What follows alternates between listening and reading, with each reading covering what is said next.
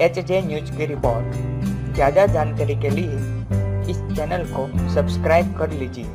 भारत और श्रीलंका के बीच खेली जा रही तीन मैचों की टेस्ट सीरीज़ के पहले मैच के चौथे दिन ऑलराउंडर रविंद्र जडेजा ने बेहद ही शानदार फील्डिंग का प्रदर्शन किया। श्रीलंकाई बल्लेबाज की चौका जाती हुई गेंद को रविंद्र जडेजा ने बहुत ही उम्दा तरीके से रोका और थ्रो किया। हालाँकि उनका थ्रो स्टंप पर नहीं लगा, लेकिन उन्होंने बहुत ही शानदार प्रदर्शन किया।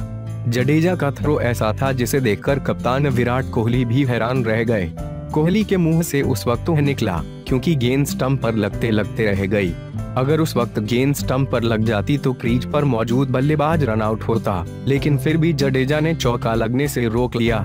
जिस वक्त श्रीलंकाई बल्लेबाज ने ये शॉट मारा था, उस वक्त श्रीलंका की टीम ने उनहत्तर ओवर्स पर आठ विकेट के नुकसान पर दो सौ छियालीस रन बना लिए थे। उस वक्त क्रीज पर सुरंगा, लकमल और रंग नाहरात थे।